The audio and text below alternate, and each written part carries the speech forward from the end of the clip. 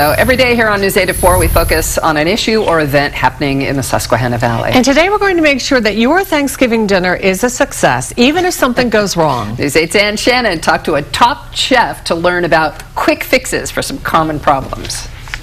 It is almost Thanksgiving Day, and we are ready to talk turkey. We are here at the Pennsylvania School of Culinary Arts with Chef Tim Harris. So, Chef, a lot of people have a lot of questions about the turkey. What do I do if I have a frozen turkey and it's getting too late? Okay, so the frozen turkey, to get it ready in time for the family dinner, um, the quickest thing to do is get it underneath running cold water as quickly as possible, and we're going to try to make it as pliable that we're able to cut it in half. And that's going to be the quickest way to get it into our oven and start the cooking process and have it ready. All right, so you've, table. you've got it here already cut in half. I do. You're not going to have that beautiful centerpiece of a turkey, but it's going to be done and ready for your family. What do you do next? All right, so what we're going to do is because we split it in half, we're going to speed the cooking process. And my suggestion would go at a higher temperature in the oven for the first 30 minutes and then back the temperature down. So maybe 425 down to 375, and then we'll be ready to go.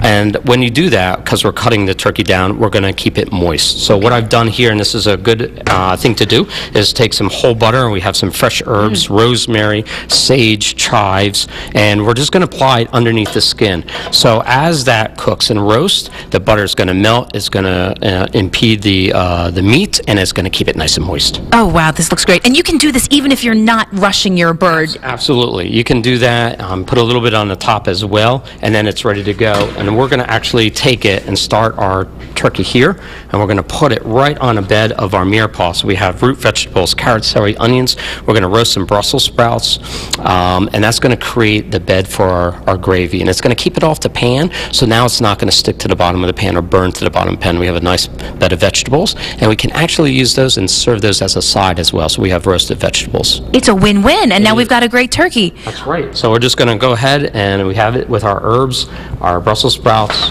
our turkeys all ready to go. We have the seasoned butter underneath the skin, and we're ready for the oven. All right, sounds great. Well, we are going to keep talking turkey with you and some side dishes as well, so be sure to stay tuned. We'll be right back.